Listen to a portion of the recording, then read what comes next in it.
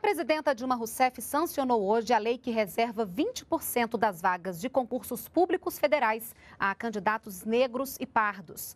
A lei vai ter validade de 10 anos. Ao vivo do Palácio do Planalto, o repórter Ricardo Carandina tem as informações. Boa noite, Carandina. Olá, Renata. Boa noite a você e a todos. Olha, os negros são mais da metade da população brasileira, mas nos últimos 10 anos, menos de um terço das pessoas que entraram no serviço público são negras. Esta lei, que reserva uma de cada cinco vagas para candidatos que se declaram negros ou pardos, quer reduzir esta diferença.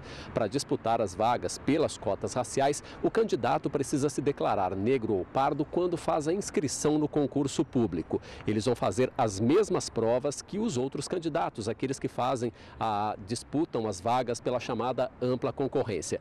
O sistema de cotas raciais deve ser aplicado a todos os concursos públicos que ofereçam três vagas ou mais para cargos na administração pública federal, em empresas públicas, sociedades de economia mista controladas pela União, também fundações e autarquias. A presidenta Dilma Rousseff disse que a nova lei vai tornar a representação racial no serviço público mais parecida com a composição da população brasileira.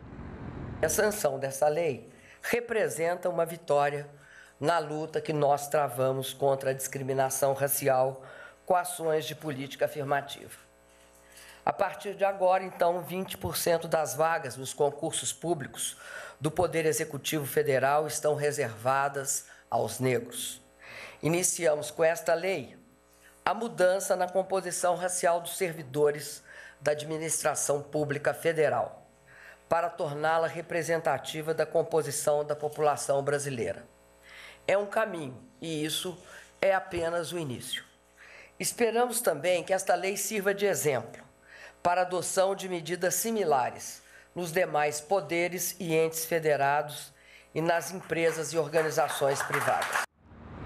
Bem, a lei que foi sancionada nesta segunda-feira pela presidenta Dilma Rousseff entra em vigor assim que for publicada e vai valer, como você disse, Renata, por 10 anos. Renata.